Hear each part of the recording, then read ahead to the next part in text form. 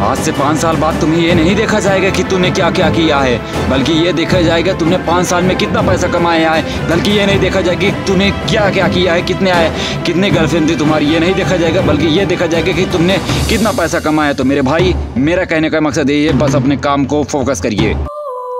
तो hi everyone स्वागत करता हूँ एक और नई वीडियो पर। तो चलिए वीडियो को शुरू करते हैं। आज का हमारा मेन टॉपिक है अपना, अगर आप समय बर्बाद कर रहे हैं तो अपने घर वालों का नहीं तो अपना समय बर्बाद कर रहे हैं, क्योंकि आज से पाँच साल बाद आपके रिश्तेदार, आपके घर वाले ये नहीं पूछेंगे कि आप क्या करते थे, आपकी कितनी जीएफ थी। बल्कि ये पूछे, ये पूछेंगे कि आप कितना कमा लेते हो और आपकी कमाई देखी जाएगी। तो मेरे भाई, इन सब चक्करों में मत पड़िए और अपने कारोबार और जो भी करें, अपने दिल से करें।